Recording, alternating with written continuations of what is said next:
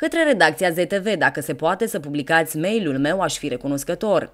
Zilele acestea am avut surpriza neplăcută și nu numai eu, ci și cei care au autoturisme în splendidul nostru oraș, că parcarea de lângă primăria Zalău a fost ocupată de expoziția ce se organizează anual. Nu știu dacă deșteptul nostru de primar își folosește materia cenușie când dă drumul la aceste evenimente, când orașul suferă de lipsa locurilor de parcare.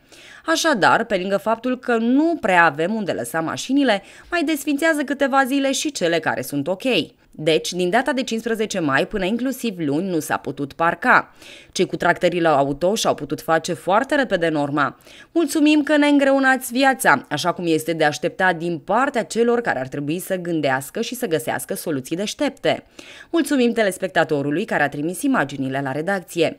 Nu uitați, dacă ați fost martorul unui eveniment, puteți trimite imaginile pe adresa de e-mail zalotv.gmail.com, iar la 5 filmări veți primi cadou un tricou personalizat ZTV.